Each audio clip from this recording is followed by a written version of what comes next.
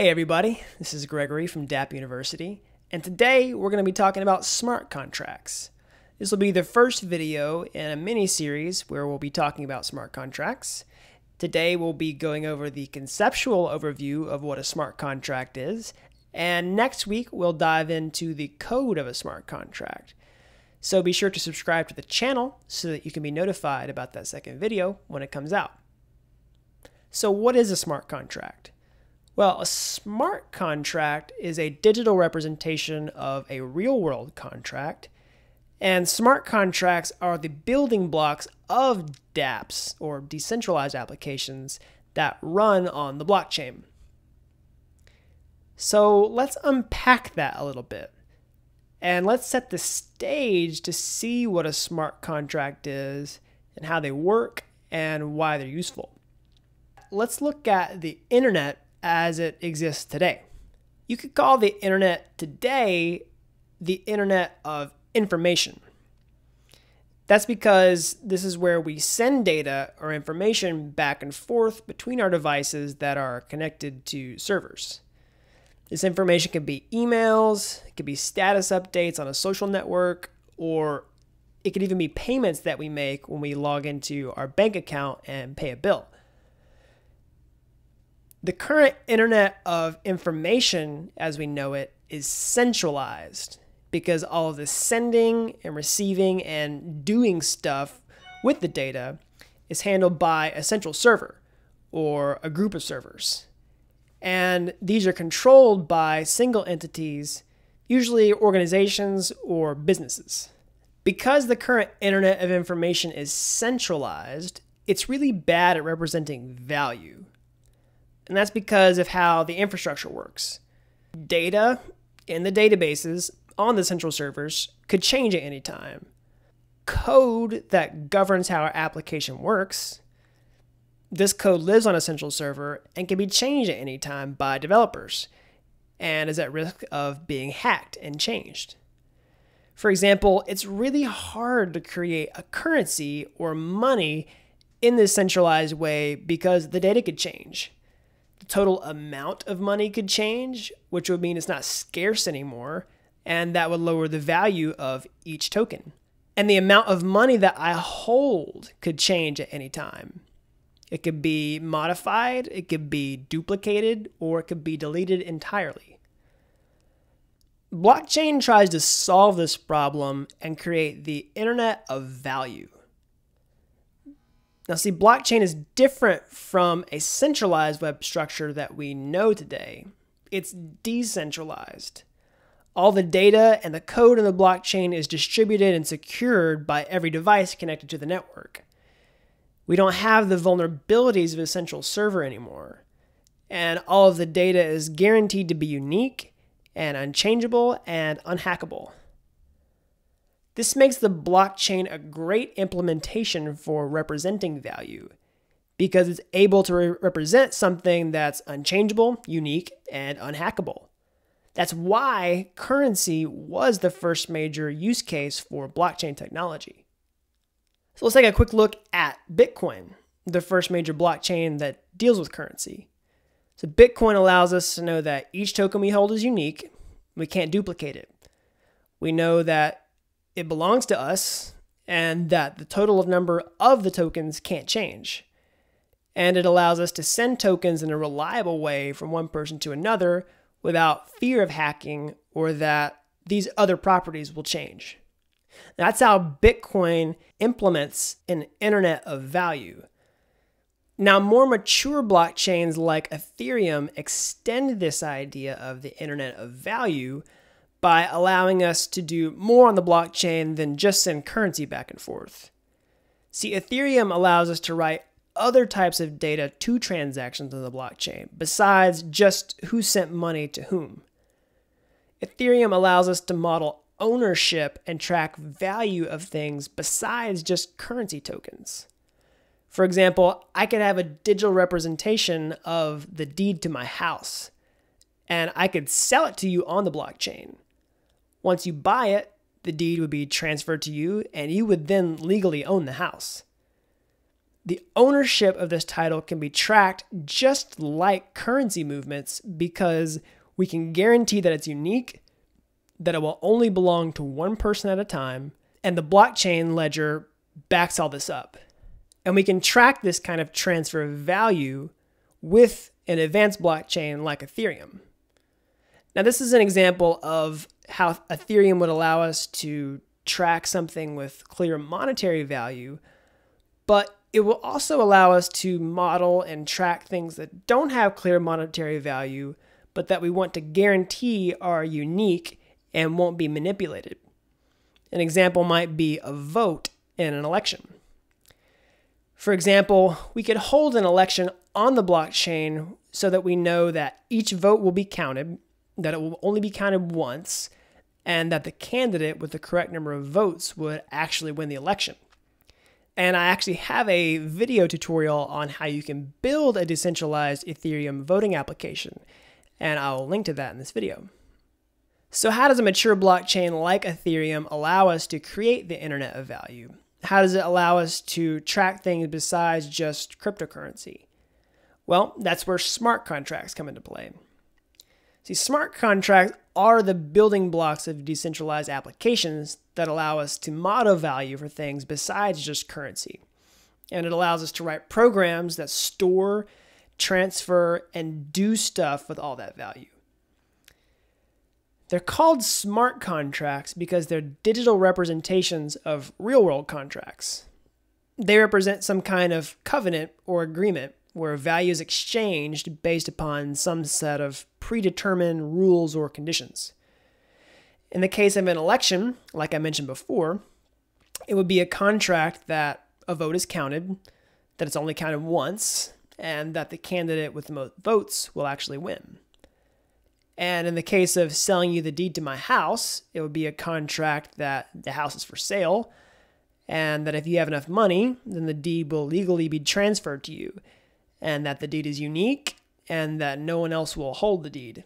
In order to get a conceptual glimpse of how the smart contracts work, let's first look at a simple transferring of value between accounts, like with Bitcoin or Ethereum, just where I'm going to send you cryptocurrency from my account to yours.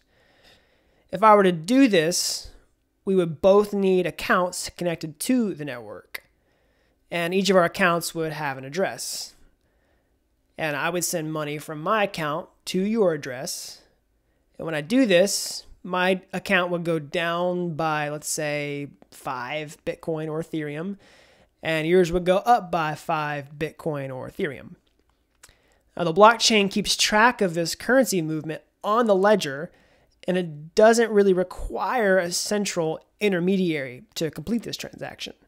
It's decentralized. The blockchain will take care of all of it for us. Now, this is a simple transaction. What about a more advanced transaction? What if I want to sell you my house? I would need a place to store the deed to my house, and I would need a way for someone to buy it and to transfer it. That's what a smart contract does. This is where we would write the program that would accept our deed, and it would allow someone to purchase it. And whenever they purchase it, it would transfer the deed from the smart contract to that person's account. And it would release all the funds once the deed is sold to my account. Now, what about the code of a smart contract? Let's look at some pseudocode of what a simple value transfer might look like with something like Bitcoin, like where I'm just sending cryptocurrency from my account to yours. This is the kind of simple program that would get executed for each Bitcoin transaction on the network. And it does exactly what a currency transaction should do. It simply takes in value and it transfers it from one account to another, provided that there is enough value in the sender's account. The transaction features many attributes of a normal programming language, like functions, variables, if statements, etc. But what if we were going to do something like sell a house? Then we would need a much more robust programming language. Something with complex data structures, loops, variables, etc., etc. That's what we get with smart contracts on the Ethereum blockchain. Smart contracts in Ethereum are written in Solidity, which is a language that looks a lot like JavaScript.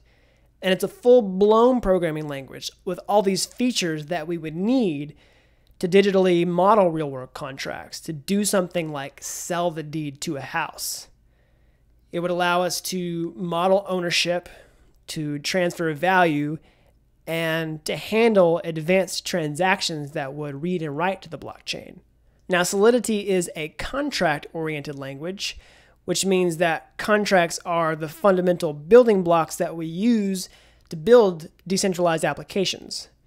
And this is somewhat related to classes or objects in an object oriented language. The smart contracts are what allow us to encapsulate data and behavior in our decentralized applications. They also support inheritance and they can talk to one another, etc., etc.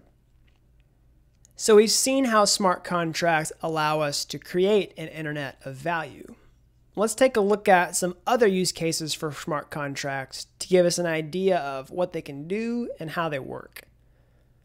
The first example I want to look at is crowdfunding. A Kickstarter is probably the most famous centralized example of a crowdfunding platform. You know, it's a platform where people try to fund the creation of their product by allowing supporters to pledge money towards the product. It's effectively pre selling the product. And in many cases, these backers get other bonus rewards besides the product itself. Now, with Kickstarter, people pledge money to the campaign. If it's funded, their funds are paid out to the product creators. If the product isn't funded, then the money goes back to the pledgers. Now, because Kickstarter is a centralized platform, Kickstarter gets a cut for managing all the money. We could do this with a smart contract instead, where the creators of the product will be able to keep more money. Let's see how that would work. If we were going to build a smart contract to take care of all of this, we would need some supporters who were connected to the network. And each of them would possess some Ethereum with a wallet address.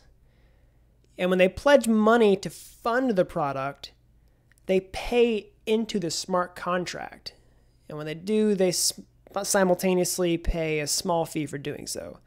That's because all the transactions on the Ethereum blockchain cost gas. Now, when they pledge money during the funding phase, their pledge money is stored in the smart contract. And it's important to know that the smart contract can store value. It's just like a user account in this way. It has an address, just like a user account. If the project is funded before the time limit, then the money is released to the project creator. And if not, it goes back to the pledgers. Now, the smart contract is in charge of keeping track of the pledge goal, the time limit. It's in charge of governing all the rules of this pledge campaign. It's a contract that the pledgers will get the product that they paid for if the goal is met, and that they'll be refunded if it isn't. And it's also a contract that the creator will get their money based upon the same conditions or not. Now, why would we build a crowdfunding campaign with a smart contract instead of the normal centralized model? Well, there are a few reasons, but the biggest one is this. Remember that I said that Kickstarter would take a fee for all successfully funded projects. Well, what if that fee was 10%? And what if we were trying to raise a million dollars? Well, that would be $100,000. And if we did this with a smart contract instead, the creators of the product would be able to keep that $100,000. The next big use case that I want to examine are what I call event based payouts. Now, smart contracts could collect data about real world events and issue payouts to users based on the outcome of those events. So basically, a smart contract could collect data about stock prices, sports scores, weather conditions, etc., etc. And it could be in charge of managing a set of conditions around that data. If the conditions are met, then some people could get payouts, and if not, well, then they wouldn't. For example, a smart contract could be in charge of collecting stock market data, like the price of stocks, and it could manage options contracts where, you know, people would effectively bet on the price of a stock. And if they were right, then the smart contract will pay them. And if they weren't, well, then it won't. Another example would be modeling insurance with a smart contract. Let's say that we have 10 people who pay into an insurance policy. Our smart contract could effectively be the insurance policy or contract that governs all the rules of this policy.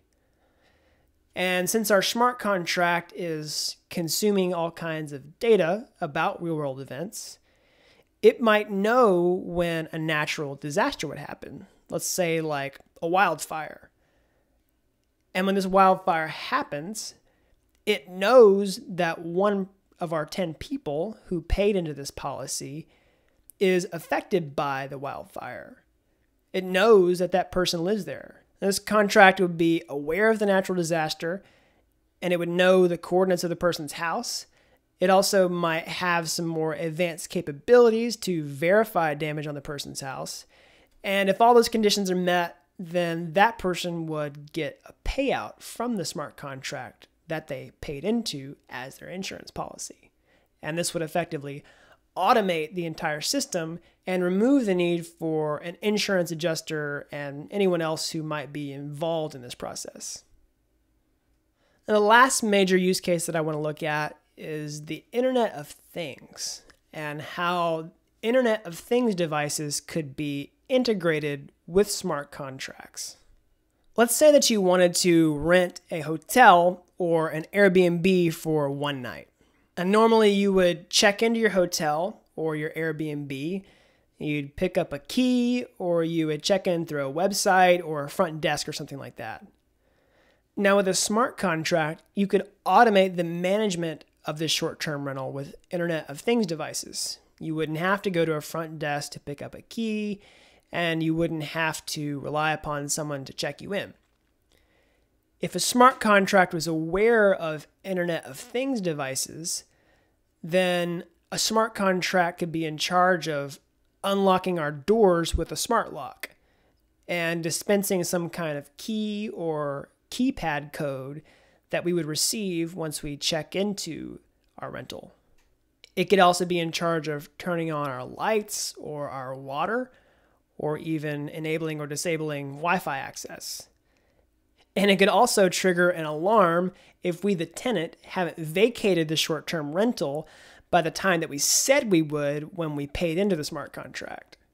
So that concludes part one of our mini series on smart contracts, where we've looked at the conceptual overview of what a smart contract is and what it does. And next week, I'll be diving into the code of a smart contract. So be sure to subscribe to the channel so that you can be notified about that video when it comes out. And until then, thanks for watching Dapp University.